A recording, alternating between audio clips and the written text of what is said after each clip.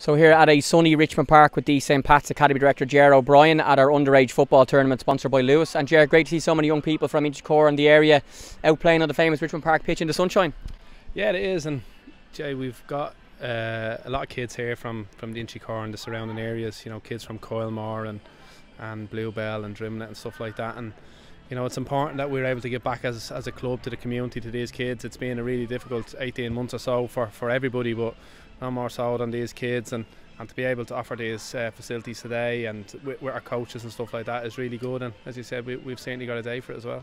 Yeah, everyone having a great time. Lots of great skills on show. Lots of goals. One being scored behind you. Big saves and everyone enjoying being on the pitch here. The pitch has, has so much history and it's a great nick as well. The lads having a great condition for the kids to be playing. Yeah, well, as I said already, these kids from the surrounding area, they, they come and watch, you know, the first team play on a Friday night, and some of them, I was speaking to them beforehand, haven't been so lucky yet to, to get in since uh, fans have returned, and one or two are actually coming for their first game this Friday against Waterford. So it's great to be able to offer that facility and you know what Dave is doing in the community to, to work with these uh, youth clubs and stuff like that is is really really good. And we, we offer a, a different uh, perspective to these kids a different voice and a different sounding board that we're able to kind of keep them uh, work with with their with their youth groups and keep them all on the straight and narrow and offer the, as you said already these facilities which are fantastic. And you know it's about these these kids these boys and girls coming in today having fun and that's what they're doing. So Seamus welcome to Richmond Park. We've got a fantastic underage football tournament going on across yesterday and today you might talk us through what the event is and why it's taking place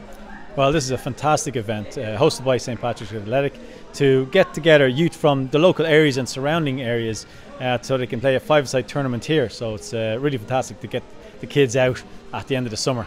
Yeah, and they're all local kids as well, so nice to see them in their local stadium out on the pitch, which is in great condition, enjoying their football, even with the weather not too great today. Yeah, no, it's well, it's fantastic. Richmond Park is a, is a beautiful stadium, and it's part of the, the community. It has been for, for over 90 years now, and uh, we're delighted to be involved in this. Yeah. Why is Transdev, the operator maintainer of Luas, getting involved in an event like this? Well, I think the very ethos of this event is actually to be pro community, pro connection, pro health.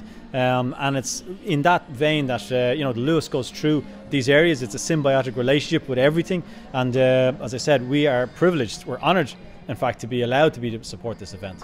And lastly, we're very thankful to Luas for their support for the event.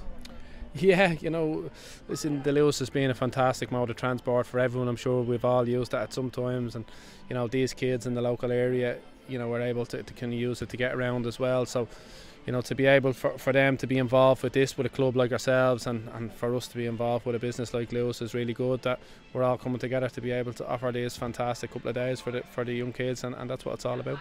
And lastly, we've seen over the last 18 months just how difficult it's been for young people not to be able to see their friends, to go to school, to play sport. So why do you feel young people being involved in events like this and, and Luas partnering as well is so important?